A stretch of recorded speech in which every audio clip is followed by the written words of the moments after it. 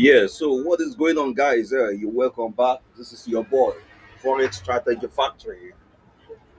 Yeah, we are here to analyze the market one more time about the USD JPY. Yeah, I believe many of you followed me till this point where this market got to 115.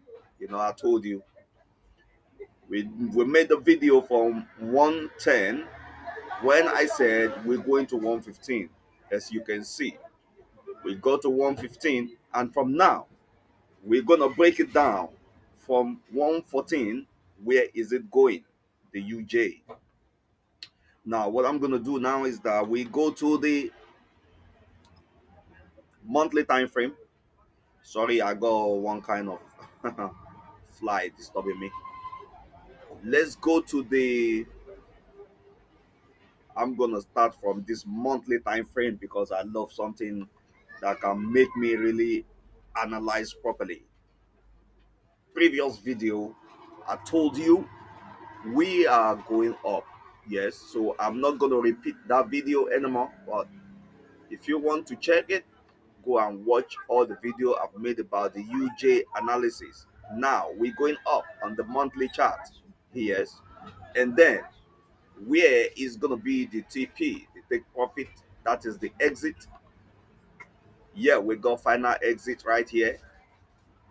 Let me make it like uh, 135. I'm not saying you should go and trade this one, but this is just analysis. 135. We got another one on the monthly, like this one here. We got 125. Yes, and then okay, this is what we got on the monthly. So if we're gonna do something that looks like a stop loss on the monthly, then we can do things that looks like this. Yep, and this is gonna be a red color representing a stop loss. Yes, I hope you can see what I'm doing here, guys. Now, okay, I, I see those are my boys greeting me. Now we're gonna go back to the one lower time frame, which is gonna be like um, is gonna be the weekly we see what it looks like on the weekly, then we, we can see we still have a good chance of, you know, um, we got a TP here on the weekly time frame, and we're gonna make it like um, make it green. This is the weekly time frame uh TP. Okay, this is it, and I'm gonna make it a round figure for you. Oh, sorry let's make it a little bit of round figure. It should be around 119 this is 119 i believe you can see. 118.824 that is the uh, next pivot we are going to be fighting with struggling with. Okay? Uh, and i think we, we got one more one more right here. Like um we got one more pivot around this zone. Yep. Which is around 120 above 120 yes those are the tp of the weekly if we take a look at what the weekly is doing, we can see that, yep, we are actually, you know, diving up. This is weekly, weekly trend. Okay. I don't like doing things like making too much of lines and painting. But now, are we going to follow this up?